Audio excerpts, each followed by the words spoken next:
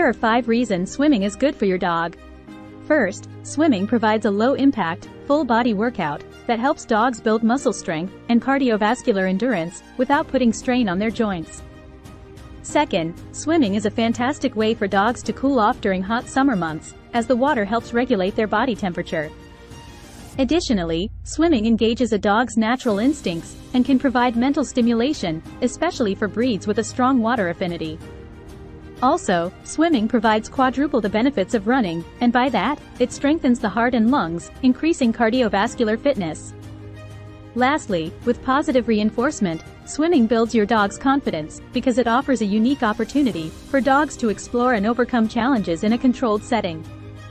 Follow Uno and Mochi as they explore and showcase pet-friendly destinations where dogs can swim,